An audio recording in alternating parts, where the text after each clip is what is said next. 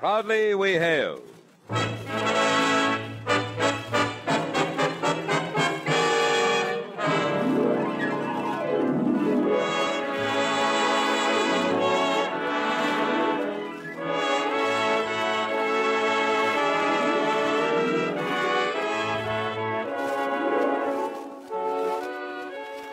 From New York City, where the American stage begins, here is another program with a cast of outstanding players.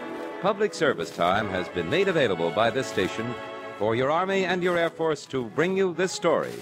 As proudly we hail the United States Army and the United States Air Force.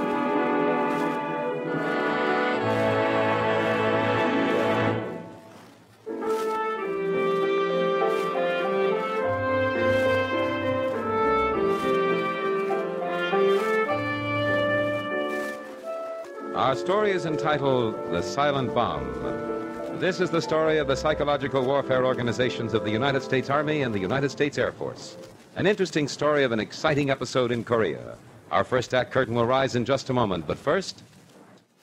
Young men, when you volunteer for service in the United States Army, you can rest assured that your talents and natural skills will be considered in giving you an assignment to your liking. Today, if you're qualified, you can enlist directly for training as a specialist in Army aircraft maintenance.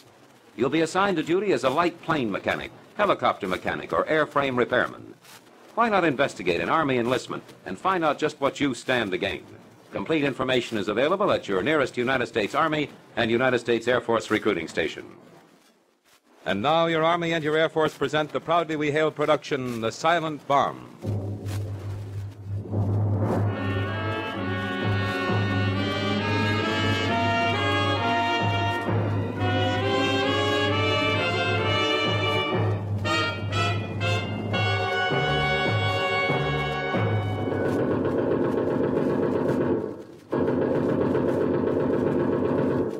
That is a communist machine gun in Korea. It fires to kill.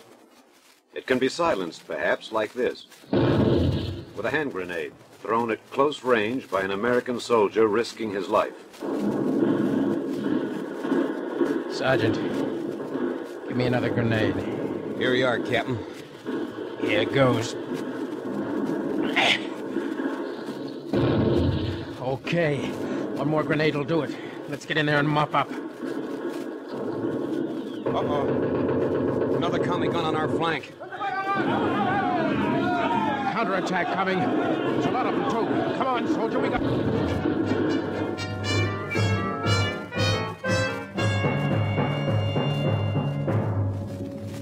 One gun silenced, but others still alive. Mightn't there be some additional way of silencing not only that one machine gun, but others, a dozen? Some way to double the effectiveness of every American weapon, some new ammunition in the armory of freedom? That's the hard question in the minds of every American fighting man in Korea, and in the minds of those at home. That night, it's the hard question on the lips of an infantry officer we'll call Captain Edwards.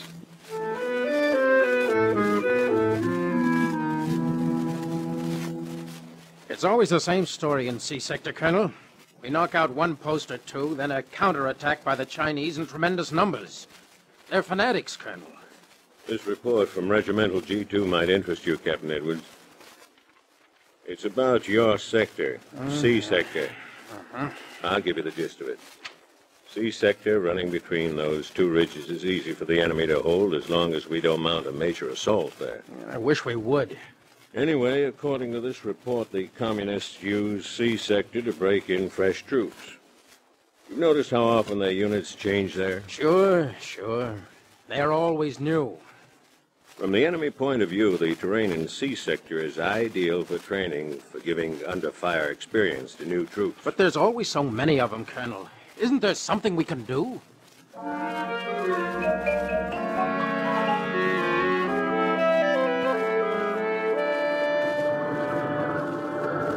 Miles to the north, at the Yalu River dividing Korea from Manchuria, a long convoy of Soviet built trucks, all loaded with soldiers of the Chinese Communist forces.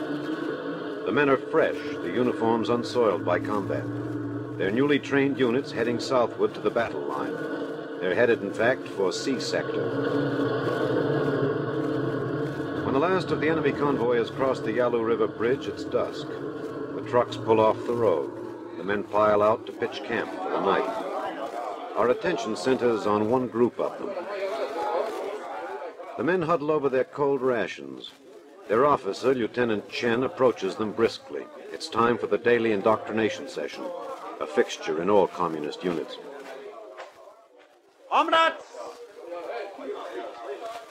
Comrades, we are on the soil of our great ally, the People's Republic of Korea. We come to help them defeat the imperialist aggressors from America, the reactionary exploiters of the masses. We will drive them into the sea for the greater glory of our own people's democracy of China and the glory of our beloved leader, Comrade Mao Zedong. You, uh, Comrade Lee, Comrade Lieutenant, you will answer me. Why must we defeat the imperialist aggressors from America? because they seek only to keep us in colonial status and enslave the masses. You, Comrade Chung, you agree? Yes, but there is another reason, Comrade Lieutenant. What is it? We must defeat the imperialist aggressors because they invaded the People's Republic of Korea to destroy it. Now, you, Comrade Sung, you stay where you are, all of you! Plane! Comrade Lieutenant! American plane! It comes close! Without orders, the men scatter for shelter. The lieutenant glares in fury, then himself hits the ground. The American plane, big, menacing in the darkness, yet hard to spot in the purplish dusk, swoops nearer the encampment, then over it. From its belly drops a bomb, a sure hit on G Company and the platoon of Lieutenant Chen. It arches swiftly toward the ground as the red troops await the inevitable explosion. But high above them, the bomb breaks into bits that scatter without noise. The men stare. The bomb is a dud. But what are the bright-colored leaflets fluttering down? Comrade Lee crawls from behind some rocks for a better look, then takes a few steps closer and laughs. Come on! it is a bomb full of paper! The men of the platoon crowd round, picking up the leaflets. Comrades, listen. It says, escape. The communists keep the truth from you. They do not dare let your family write you the truth of the death, famine, spying, and slavery the communists have brought China. Just as your political officer dictates what you may write to your family, communist bosses tell your family what to write to you. It is true. Lieutenant Chen tells us what to write. Listen, it says, do not be tricked by communist lies. Do not fight for those who kill your people at home. Escape. Go home to your family in China. Look, on the leaflet, comrades, a picture of a letter burning. It must be true. You men! You pigs! What are you doing? Comrade Lieutenant, American leaflets were in the bomb. Many, many leaflets. They are poison! Drop them to the ground! They are poison! You will die! Drop them, I tell you, or you will be shot!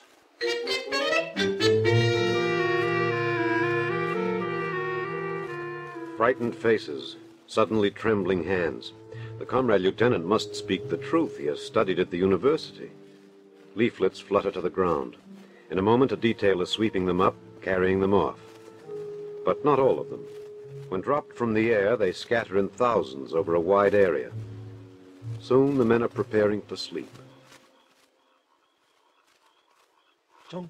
Yes, the American leaflet. You believe it is poison? I know it is not poison.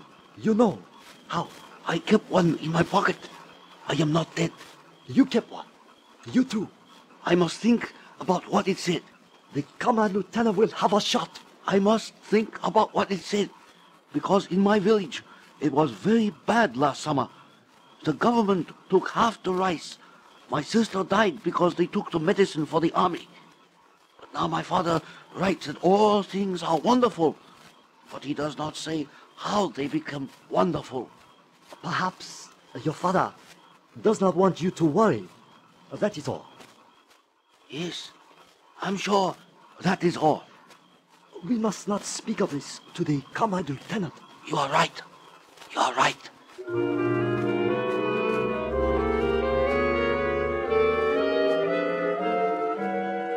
G Company, 480th Chinese Communist Infantry, waits behind the lines, listens, wonders as all soldiers wonder before entering combat for the first time. They're so intent on the rumble of distant death that they hardly hear the drone of a plane engine above them. A plane! American plane! The men dive for cover. They can only wait, for the anti-aircraft artillery is further back. They watch the plane far above them. And then a voice fills the air. A strange voice speaking to them in their own language. Warriors of the 480th CCF Battalion. He speaks to us, John. Listen. Warriors, listen to me. Look about you. Look at your comrades. Many will soon be gone, killed in useless attacks. Why? I tell you why. Because Malenkov and the Russian communists have forced you into this war. Because they care nothing for dead Chinese soldiers. That must be right, John. They cannot care for us. Do not speak. Listen. The Russian communists are greedy only for more power over China and Korea. Brave Chinese soldiers, you have been betrayed. John, cannot be so. The men of China fight on Korean land with old weapons from Soviet Russia. That is truly. Lee. Our, our guns are Russian. You men! The combat lieutenant. You men! Why do you listen? Fire your gun! Warriors, Fire your gun! look at your comrades. Many will soon be gone, killed in useless attacks. Why? I will tell you why. Because Malenkov and the Russian communists have forced you into this war.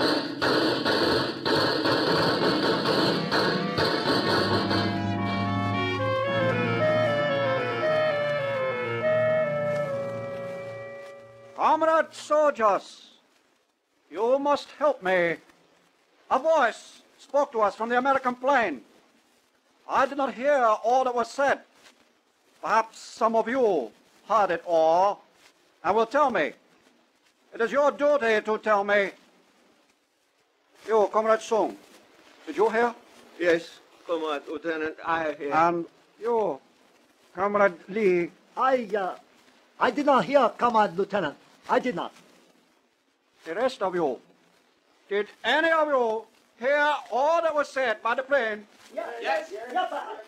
Now, my orders. Sung, Celine, you three on the end, and you, Che.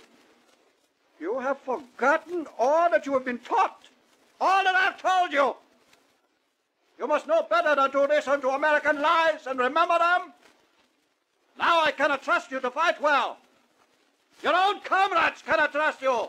You are to be shot now. But you'll merely be sent back to the rear for more training. And then we will see.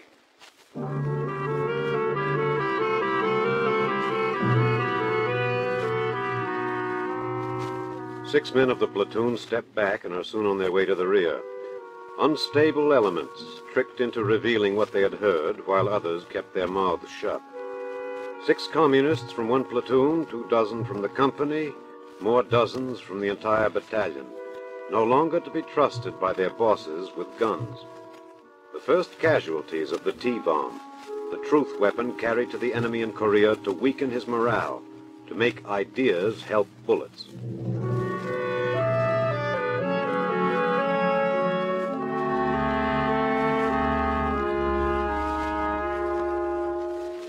Command post. Colonel Stover. This is Captain Edwards, sir. C sector. I've got news for you. Yes, Captain. One of my patrols came back with information that the commie outfit in front of us may be moving out soon. Yes, we know, Captain. The 480th Battalion is coming in opposite you tomorrow. Well, that means an attack soon. I hope we'll have some real artillery support, sir. Captain, I promise you some very unusual artillery support. You'll have everything you want and some more, too.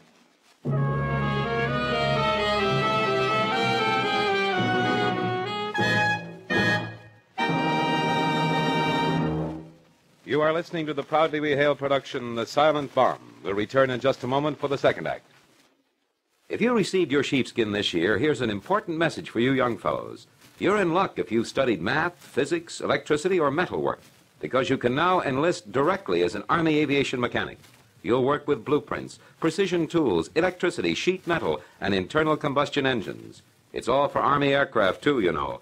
The Army uses planes and helicopters for observation and transportation. You taxi the aircraft for testing, and you'd go along with the pilot on check flights. Sound like a good job? Well, brother, it is. And now you can enlist directly as an Army aviation mechanic. Just go to your local U.S. Army and U.S. Air Force recruiting station for details. If you're qualified, you're in. You are listening to Proudly We Hail, and now we present the second act of The Silent Bomb.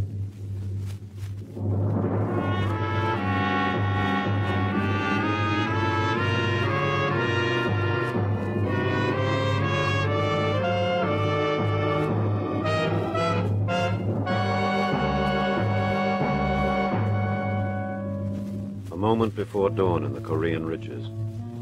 It's cold and weirdly dark, when training and discipline must fortify courage as at no other time.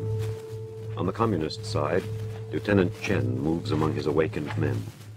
Comrades, our first attack against the Americans. Remember, Comrade Mao Zedong's eye is upon each one of us. Your orders are quiet until we are upon them. Then kill. Kill.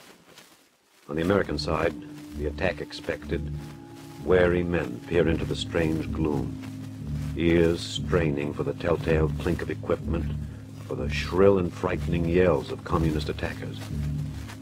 Then, suddenly, Captain, there they are. Pass the word. Fire at will.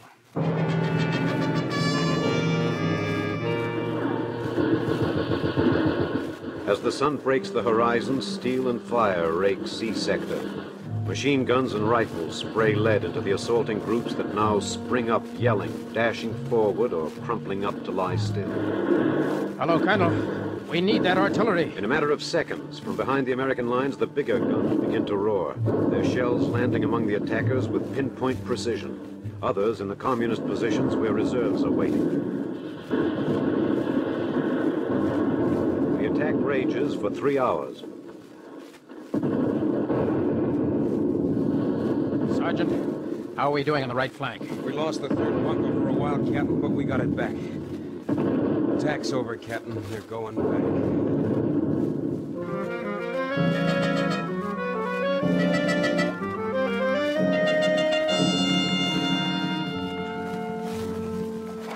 You will go back to rest, comrades. You have done honor to the People's Republic. Many were killed, eh? Did you see that some of our comrades surrendered? Do not let the comrade lieutenant hear you. He has gone out to the headquarters. Look, Chong, leaflets are all over the ground. It is strange. They did not come from plane as before. Ah, that is what they were saying. The reserve men as they came up. The leaflets came this time in artillery shells. Americans are clever. Let us see what leaflets say. Ah. Brave Chinese warriors. Why fight for Russian communists? Why be killed? You are only a substitute for a Russian communist soldier. Why not save yourself for your family? Surrender. Not so loud, Chong. Others are reading too. See, on the back, a picture. Yes. Corporal Zhong Taopei, 4th Route Army, 49th Infantry Division, surrendered in the useless attacks of October and November, now a prisoner in American hands. See how well fed and happy he is, and how safe. He will not be killed as a substitute for a Russian communist.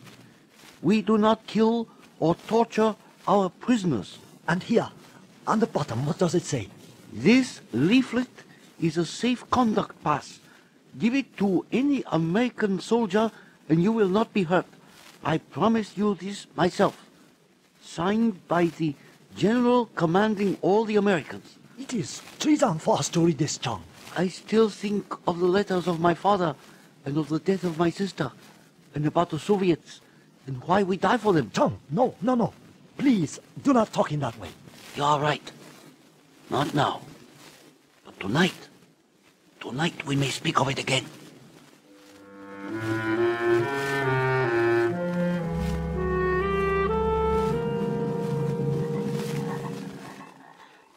Uh, quiet night tonight, Captain. We've got it coming. That was rough this morning. Yes, sir, it was. Quiet. You hear something out there? A step, maybe.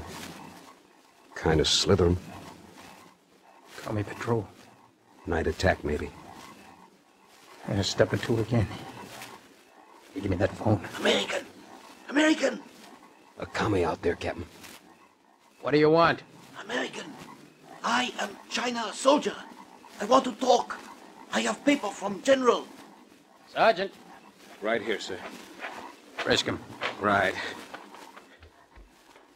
Uh, clean as a whistle, Captain. He's got a piece of paper. Surrender. Say surrender on paper by General. Yes, yes, I see. Come to outside in artillery shell. Many, many. You want to surrender? Me, yes. And more. Others. More like me back there. Others want to surrender? I think many. No like fight today. No, no like. I I must have papers. You only have one, this one? Uh, Comrade Lieutenant very angry about papers. Always angry about papers. He see he order everybody clean up papers, give to him. Only I keep. Oh.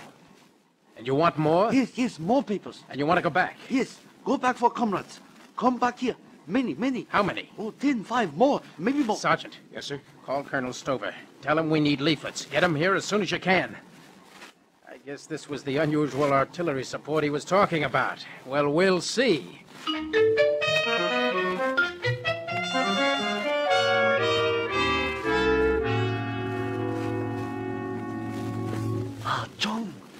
Are back alive. Yes, And the Americans? big, fine. They give me papers. One for you. And you others, you will take leaflets too. I give him to you. We go together. It is better to go together. Yes, we must show it is not a trick, that we do not want to die for Soviets. All right, soldiers. Lieutenant Chen, It is night. Why do you talk? What do you discuss? We uh, discuss a- attack of yesterday, Comrade Lieutenant. We, we now good soldiers of People's Republic. What are these papers? Huh? Enemy propaganda. What do you do with them? oh, we read them, Command Lieutenant, to laugh. Tura? You're right. Yesterday I corrected all that we hear. Where did you get these? We uh, found them, Comrade Lieutenant. Found them? You lie again, you traitors. You kept them. You kept them away from me. You're traitors to the people. I should teach you a lesson. One of you should die now to teach the rest of you what a traitor deserves from the People's Republic. Chung, Lee, the rest of you, bury him. No, no, you murderer! Get back! Comrades, I go to surrender! Follow me! Up, you traitors! Sergeant! Sergeant, you will shoot!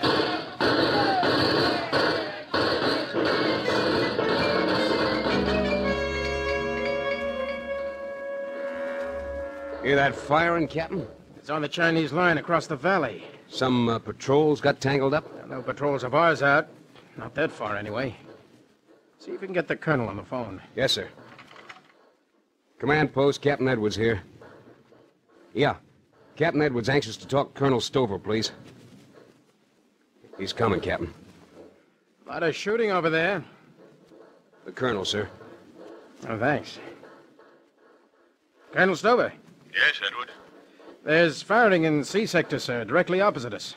I'm calling to ask if any other units of ours are making an attack. No, none, Captain. I hear some firing very faintly. We wondered what it was.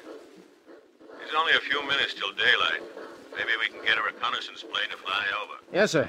And we'll watch from here. Sun just peeking up, sir. From every American bunker in C sector, anxious eyes stare across the little valley toward the communist position. As the sun lights the scene, they see Chinese fighting with Chinese, bitter hand-to-hand struggles. Then more and more of them breaking up and men running frantically toward the American positions. Rifles crack behind them. Some stumble and sprawl. Others come on waving leaflets in their hands. Please, please, I have papers. My comrades come. Do not shoot you. Your general promised. Hello, it's our old pal. Oh, what's happening over there? Help my comrades. Some want to come here. Others no. They fight. Others surrendering up and down the line. They do not want to die for Russia. Help them. Sergeant, this is our chance to take the commie position. Pass the word. Attack.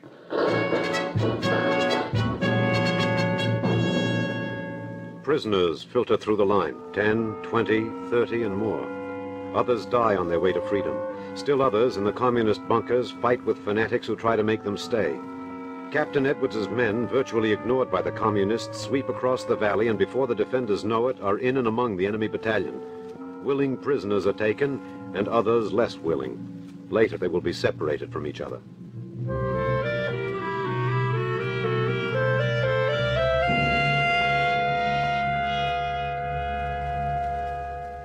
Well, Colonel, we've occupied their position and cleaned it out. Good work, Captain. Any prisoners? About 175, as near as we can figure.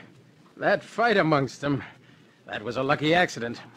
Accident nothing, Captain. We started working on those fellas from the moment they crossed the Yalu.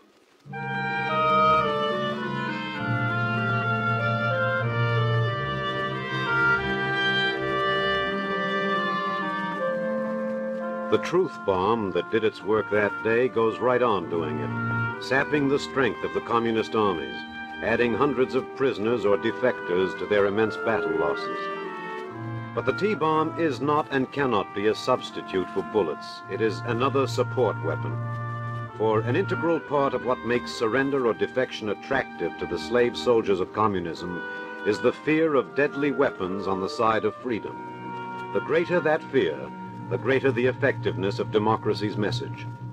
Proudly we hail the psychological warfare organizations of the United States Army and the United States Air Force that may double the wallop of every American bullet and cut the enemy's effectiveness in half.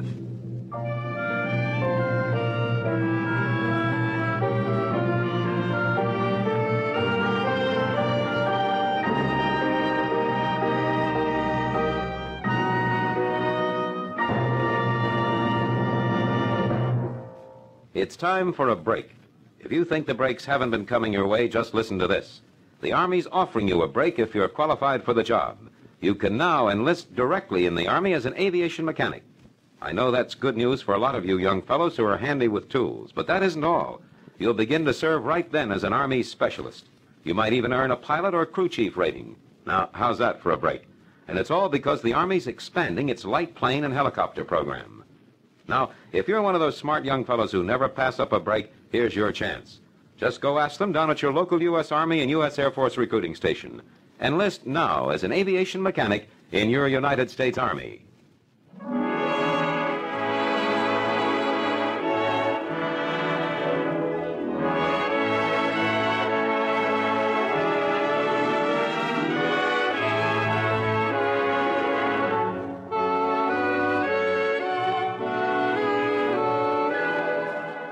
This has been another program on Proudly We Hail, presented transcribed in cooperation with this station.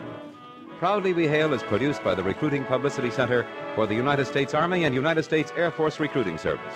This is Kenneth Banghart speaking and inviting you to tune in this same station next week for another interesting story on Proudly We Hail.